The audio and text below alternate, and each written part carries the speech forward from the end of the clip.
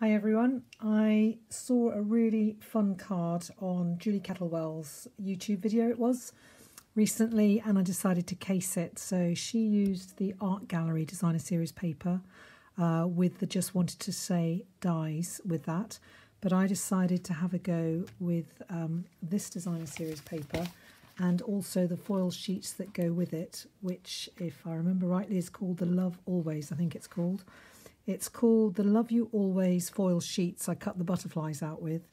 And it's the Love You Always, uh, the paper is called Love You Always Speciality Designer Series paper. So this is Sahara Sand, the background, which I've embossed with a painted texture embossing folder. And this ribbon has sadly retired, and the sentiment is from the Art Gallery stamp set. So that's the first one I made. And then the next one was with the Pampered Pets bundle. I cut the dog out with a die, fussy cut that one, and with the paper that goes with it. And this sentiment is from the Simply Succulent stamp set. And this is the textured embossing folder for the base card, which is real red. And then I did another butterfly one. I uh, did these two in my team meeting this morning uh, for my demonstrator team. Uh, this one's in Highland Heather using the Hydrangea Designer Series paper, Hydrangea Hill it's called, white crinkled seam binding ribbon.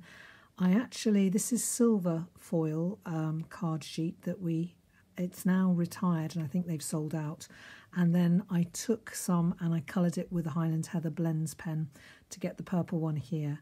So, and this is the um, Ornate Garden um, embossing folder. So I decided I'd show you one. This is the brick wall embossing folder, which is actually carrying over, I think, to the next catalogue and I'm using the Snail Mail Designer Series paper for this one. So you need to cut yourself uh, six squares of complementary, I shall say, Designer Series paper and they are one and three eighths by one and three eighths. The base that you're going to put them on is four and five eighths by three and one eighths. And you basically take your Tombow and eyeball it so I just love this snail designer series, series paper. It's just really fun because you can make cards so easily with it. Um, without the stamps and the dies actually i know a lot of people it's been very the stamps and dies have been very popular and people have been having a lot of fun with them um, but it's amazing to think that you can make cards with some of Stampin' Up's materials without actually getting the dies or the stamps so I focused on other bundles and stamp sets. So just putting these together. So this is Daffodil Delight, a little bit of Bermuda Bay. This is Real Red with some, I think it's Petal Pink. Um, and then you've got some Pool Party there as well. And obviously you've got the white as well. So I'll just stick this one here. And the next thing you need to do when you've stuck on your squares of designer series paper, and this is a great way for my ladies with paper shares, this is a great way of using the designer series paper from your paper share. Now I've got here some in colour ribbon. Now this is Bumblebee. Um, sadly this is retiring, this ribbon. It's absolutely beautiful and it ties. It's probably sold out already. Just one of those, but I happen to have some left in my stash and I just thought the colour went really well. It looks a little bit lighter than Bumblebee normally is, so I'm just going to put that round there. So with ribbon tying, if you can see that, it's left over right and bring it under and then tie it together and I want it right over this side as if you were tying a parcel and do it quite tightly but make sure it's straight and I want it just between the second row and the third row.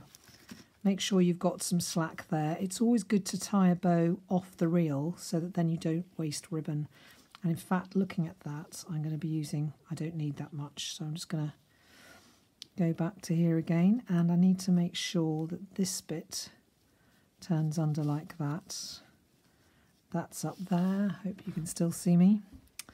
And then I put my little finger there to keep that grounded in place. And then I, I tie the bow from back to front, make a bow, bring the back piece around to the front, tuck it underneath, and just put your, it's my middle finger I use, to just pull it through there.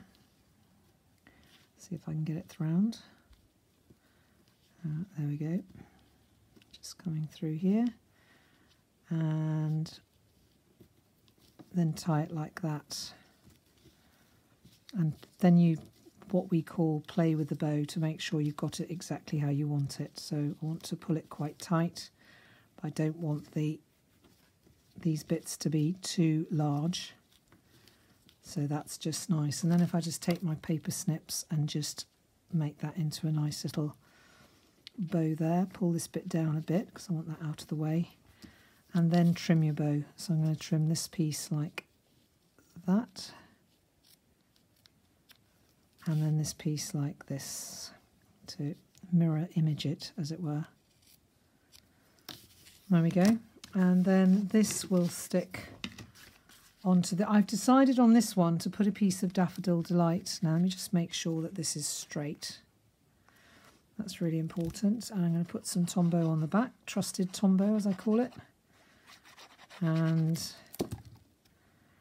that's going to stick on there just to give a little bit of bling so it makes the card pop a bit. And then I find that it looks quite nice if you have dimensionals behind this piece. So I'm just going to cut some dimensionals.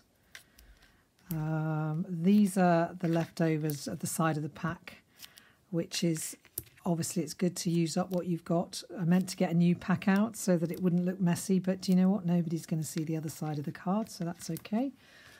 Um, right, let's see what we've got here. One there, one in the middle, and one there.